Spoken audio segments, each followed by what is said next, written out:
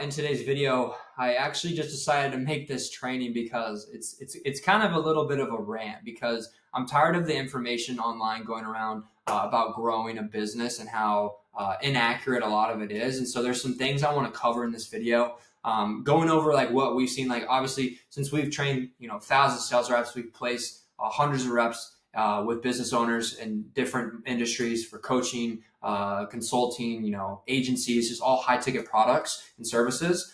Um, and, and just what I've seen, and like a lot of founders think their bottlenecks aren't what they actually are. Um, and there's just there's just a lot of things I want to I want to dive into this video. Um, so first off, the main point I want to make uh, is sales assets, and then where you guys are probably spending your attention right now, because a lot of you guys think that you probably just need to get more leads. Like if I were to ask you guys, like, what's the main thing that you think would grow your business right now? You'd probably say, I need to get more leads. Okay. I need better lead flow. Okay. And this is like what everybody thinks. But in reality, you don't usually need more leads. You need a better uh, sales process or nurture mechanism that can actually milk what you already have asset wise.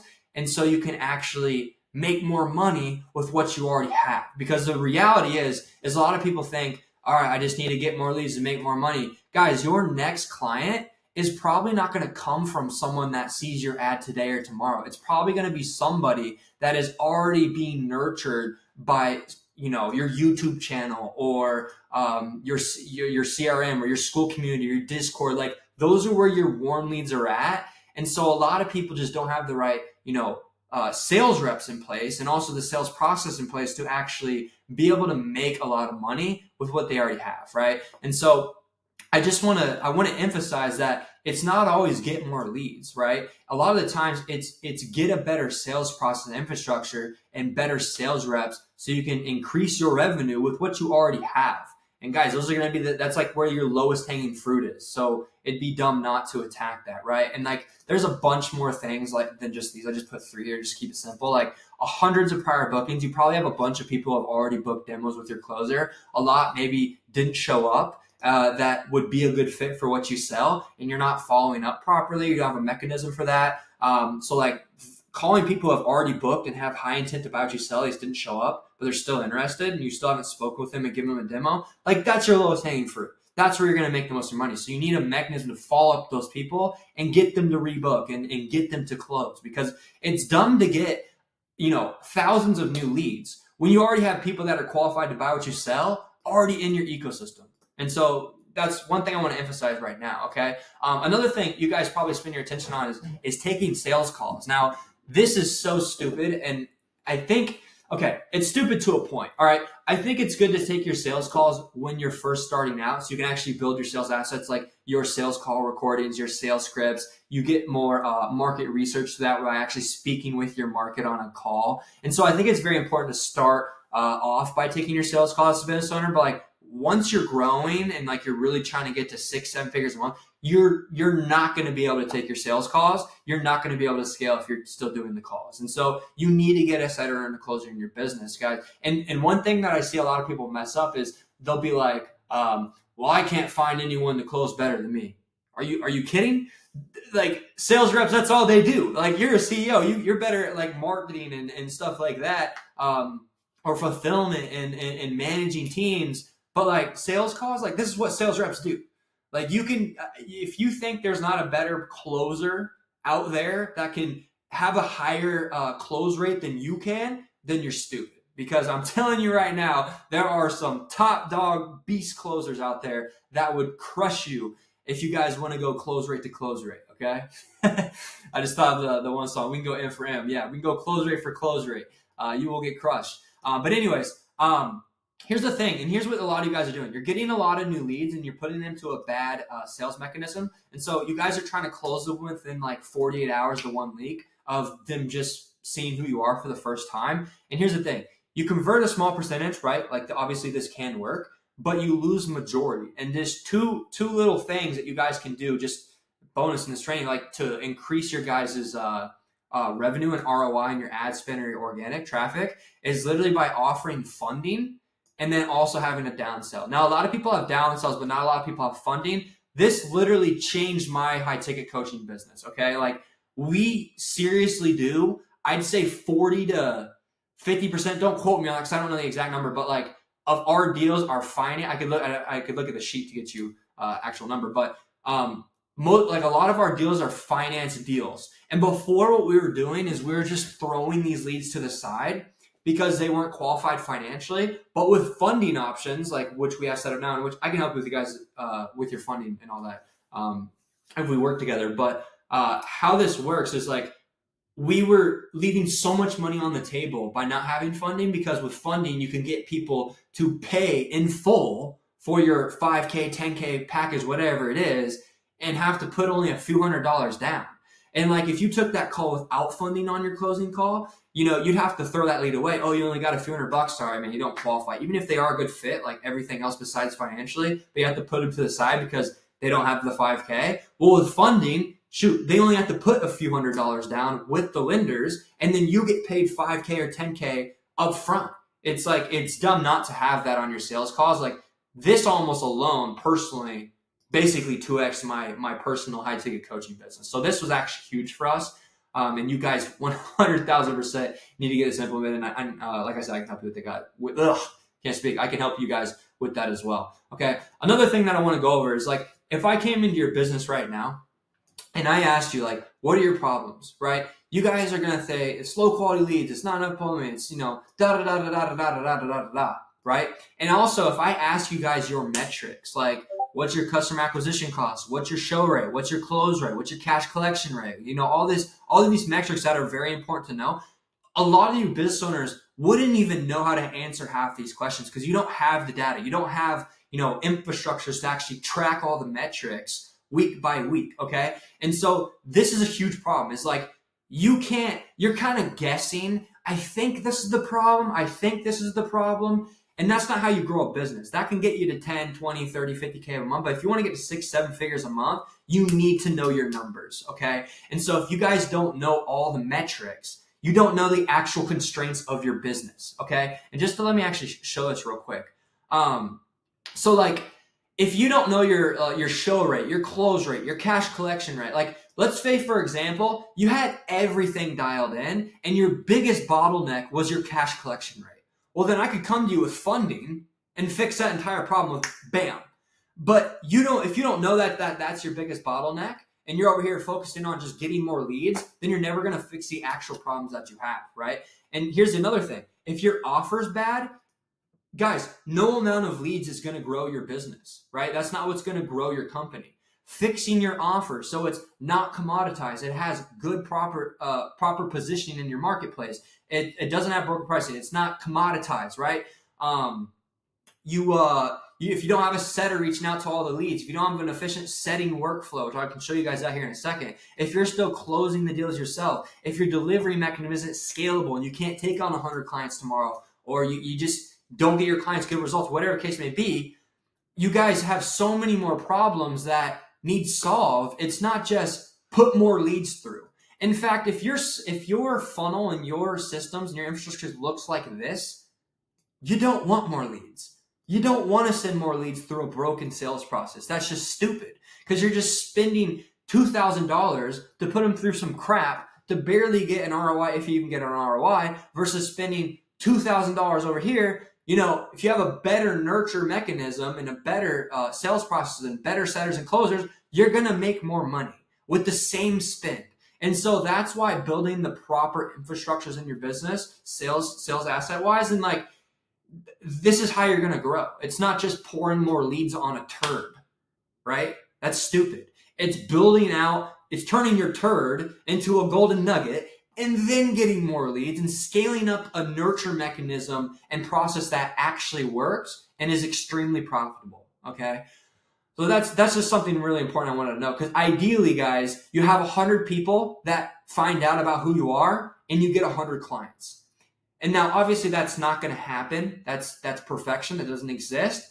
But getting getting as close to that as possible is, is, is very important.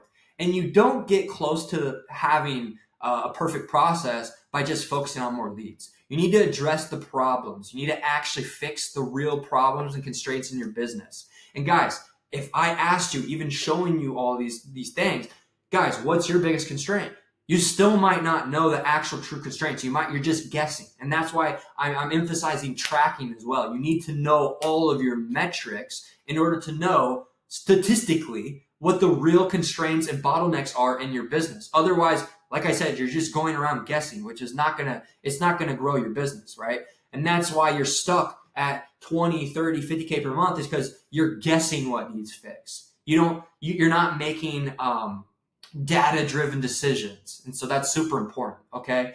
Um, and just to break this down, like, uh, kind of what I was just showing you over there, like the main things you need to focus on, obviously there's, there's stuff in between this, but is having a dialed in offer, right? Having dialed in lead flow, right? Having dialed in appointment setting process, right? Killer setters as well and killer setter, uh, setting assets processes, uh, killer sales, killer closers, um, funding is like another thing within this. Uh, delivery, it's something that doesn't require you, the founder, so it's very scalable. Like if you get a hundred clients and you have to spend so much time with them and you can't take on more clients, that's not the best model. That's not going to scale, right? And so you need to figure out how to make a scalable fulfillment system uh, with your current uh, market and actually still get the results. So that's very important as well.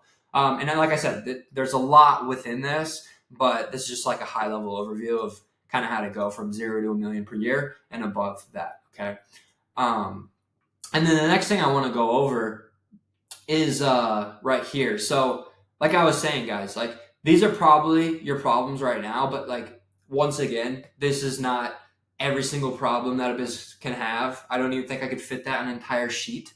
Um, but these are some problems that you guys might have, but you need to know by having actual data. And I, I know I sound like a broken record here by saying this over and over, but if you're not tracking your numbers, you have no idea what you're doing. Okay. But here's some things that you guys might be, uh, that here's some problems you guys might have in your business right now, right? You might have a commodity offer, right? Everyone's probably selling the same shit as you okay, to the same market with the same ads and the same funnels and all this crap, right? You're probably charging low prices, low profit margins. You probably have a low lifetime value. And this is huge, guys. Like if you can fix your lifetime value, like how long people pay you for and how much they pay you, this can change the game just in and of itself. It's like just these small metrics that if you tweak them and, and slightly improve the percentage of them, 2x, 3x, 4x your business. And like that's that's kind of what I wanted to make this training. It's like it's not just get more leads, it's tweaking the metrics within your sales process, tweaking the metrics like lifetime value, like increasing the LTV or increasing the amount they spend,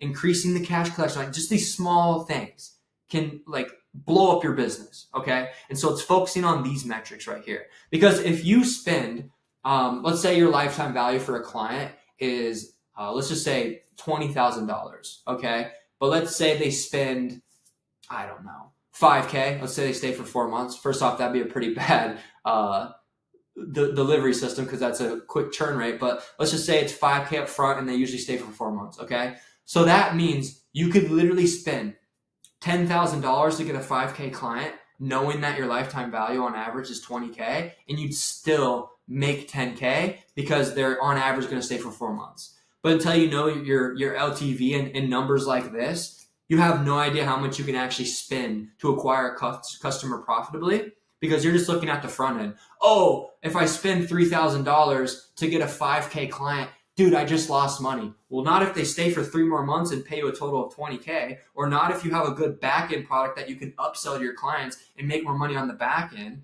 Like you, you, you guys need to know this stuff. Otherwise, it's just, it's impossible to scale your business, right? Um, not enough volume of leads, low quality leads, not enough appointments. Most prospects don't have money to get started. Pretty bad show up rate. You know, not able to close above 20% on calls. And this is ridiculous. I bet I'll, this is this is industry average 20%, by the way, which I consider this pretty bad if you if you're you have a good sales process and you're getting good leads on your uh, for demos.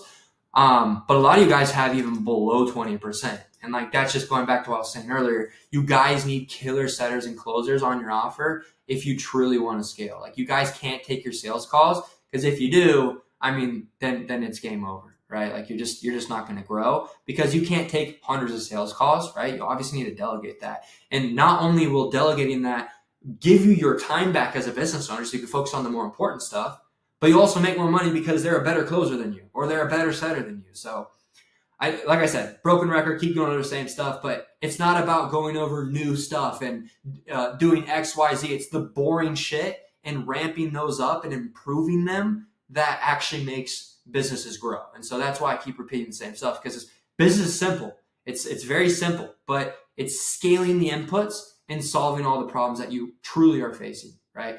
Um, so yeah, um, I'm, I'm going to end this training right here. I just want to go over this this information with you guys um, and just put together this training because, like I said, I'm just tired of all the the false information going out that oh to grow your business you need to do IGDM ads. It's the only way to grow. Like I just hate that shit. Like that's not actually the problem with your business. Like you probably have way bigger bottlenecks than get more leads. Specifically, uh, you definitely don't have a problem. Get more leads to this specific channel. Buy my course. I'll show you how to do IGDM ads or YouTube automation. like that's that's stuff's annoying. Um, and it's, it's not it's not actually going to help you uh, grow your business. And that's why a lot of people will buy these courses and try IGDM ads and then try email marketing, try all these new marketing tactics that they see on ads. they don't actually grow their business because, like I said, those aren't the real problems in your business. You don't have a lead problem more than likely. Okay. Especially if you're at like 50K per month, you're probably already getting a shit ton of leads to do that. Because if you're making 50K per month with a bad sales process, dude, imagine how much money you'd make with the current lead flow if you had a good sales process and you had funding and you had good setters and you had good closers and you had a good downsell uh, option. You guys would just cash clip way more money every single month. So it's not about getting more leads. It's about focusing on this type of stuff. Okay. And to know truly what's holding your business back, you need to know your numbers and track all the metrics from marketing and sales, literally everything from when a lead finds out who you are to closing. Okay. So, all right, guys, I'm end this training here. Hopefully, this guys helps you. Hopefully, this helped you guys out. My words aren't wordy. I'm about to hop off the computer today. The brain's fried, but uh, yeah, catch you guys in, in another training. See you guys later. Peace.